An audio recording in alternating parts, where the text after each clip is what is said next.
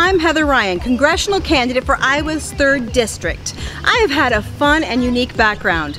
Some would say I'm the Al Franken of Iowa. So if you're looking for a traditional cookie cutter candidate, you might want to look somewhere else. I made a roast. Because that isn't me. I have been on a bunch of reality and talk shows on television.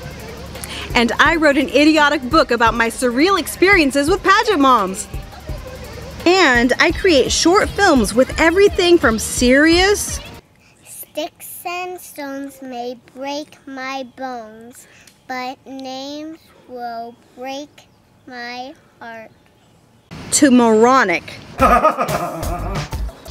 I've been called a lot of things over the years, but boring has never been one of them.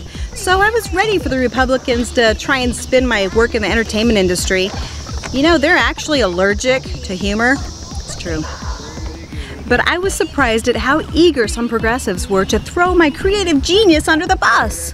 You know, we say we're a huge tent that's welcoming of all people, even quirky little chicks like me.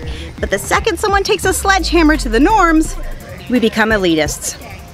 Right now, what we need is unity, not divisiveness. I will be the Congress member who goes to the mattresses for her constituents. I'm going to continue to do me. I'm not going to pretend to be vanilla when I'm really rocky road.